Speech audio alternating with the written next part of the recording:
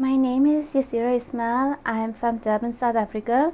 I'm a lecturer at the University of KwaZulu-Natal uh, in the physics department.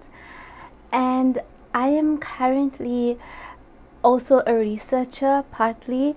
Um, I work in the field of quantum communication and this area of expertise basically deals with looking at secure ways to ensure the security of information. My goals as an OSA ambassador, so I always love to share knowledge, especially in the field of optics, lasers and photonics. So my goal is to encourage more student chapters in Africa as a whole, as well as to encourage more photonics research.